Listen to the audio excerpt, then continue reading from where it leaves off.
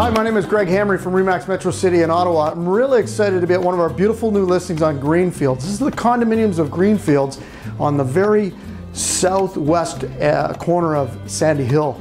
We're between the, the canal, Main Street, and uh, the University of Ottawa.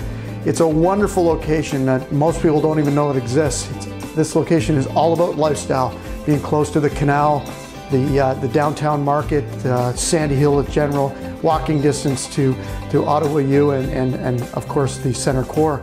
But it's also about the location. Uh, easy transit in and out, uh, great for running up and down the parkway or skating along the canal or a bike ride down to the, to the market for your daily groceries.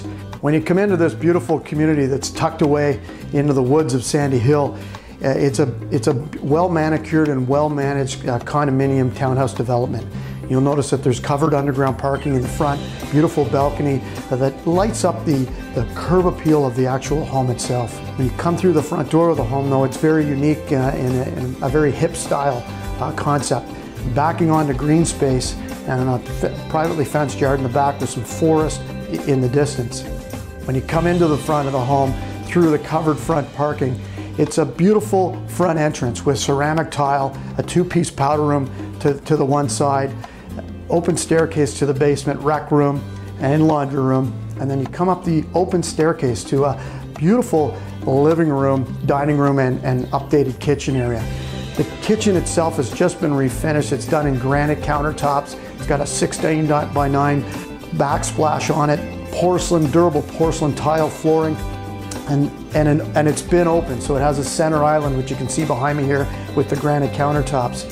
The dining room area here is all done in hardwood flooring with beautiful high baseboards, full windows right across the back of the home itself that look out into the forest area with a lot of natural morning daylight. Uh, again, all done in, uh, the windows are all quite large and all done in, in vinyl windows. There's a back deck here with the barbecue on it and then fencing on the side.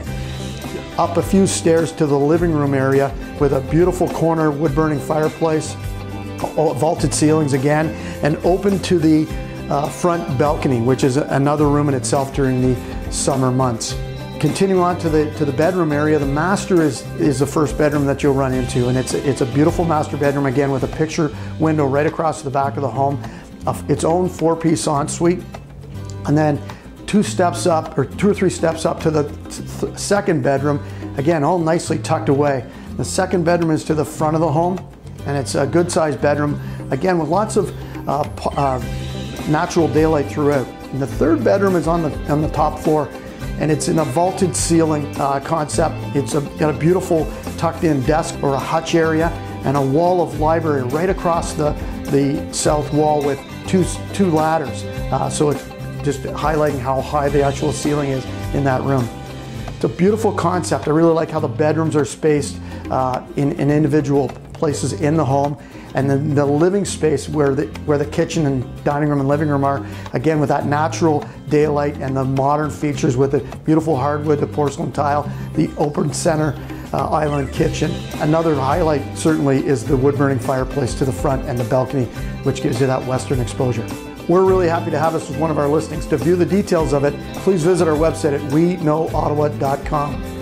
This is Greg Hamre from the Hamre team. Hope to see you soon. Take care.